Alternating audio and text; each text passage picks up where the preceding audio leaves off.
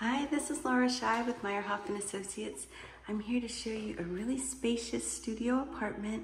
This is about two blocks from Lake Merritt in downtown Oakland on Jackson Street. So it's got this large main room where you can definitely fit your bed and have a living room set up.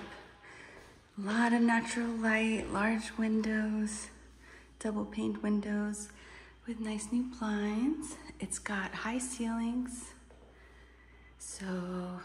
Through this way is a full walk-in closet, a lot of room. You could put your dresser in here. And then here's the bathroom.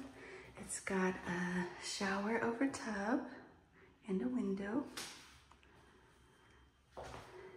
And this closet bathroom area does have a door.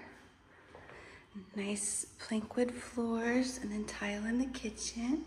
Here you've got a cute little dining nook area by another window. You can definitely fit a round table here, a little square table, and then a lot of cabinet and counter space in the kitchen. An electric stove, plenty of room for cooking and baking, full-size fridge. This is an awesome location downtown by the lake. Nice, sunny, spacious studio. Come check it out.